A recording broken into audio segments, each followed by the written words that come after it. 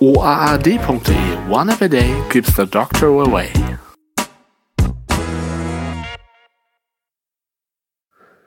Moin Moin, Servus, Grüße und Hallo und willkommen zu einer One Every Day Folge mit einer Android-App.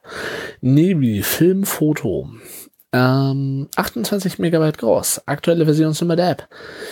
Äh, 2.8.3 erforderliche Versionsnummer 5.0 oder höher. In-App-Käufe 89 Cent bis 6,49 Euro pro Artikel.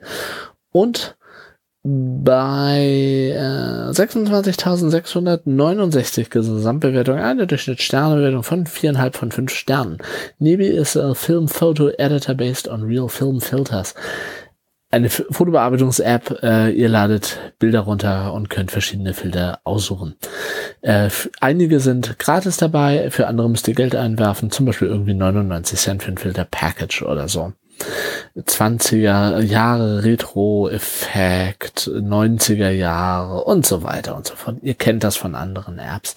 Äh, die Bedienung erinnert sehr an ViscoCam und wenn man zum Beispiel bei ViscoCam schon äh, ja ist oder vielleicht da sogar das Abo hat oder sich da alle Filter gekauft hat, dann besteht keine, kein wirklicher Bedarf, Nebi runterzuladen.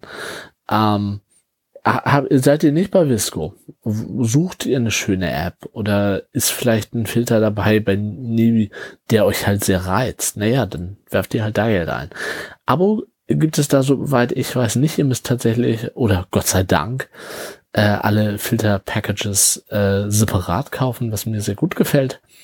Ähm, insgesamt eine schöne App kann man nicht anders sagen. Und Direct Sharing zu Instagram, Twitter, Facebook, Tumblr und Google Plus äh, wird tatsächlich auch noch unterstützt. Google Plus gibt's doch gar nicht mehr. Der, doch für, für Firmenaccounts oder irgendwie so. Ist ja auch egal. Nebi Film Photo. Ich sage vielen Dank fürs Hören. Tschüss, bis zum nächsten Mal. Und natürlich und selbstverständlich ciao und bye bye. Das war One App a Day. Fragen oder Feedback richtet ihr an info at oaad.de facebook.com slash oneappatag, gplus.eo slash oneappatag oder eine Ad-Menschen an twitter.com slash oneappatag.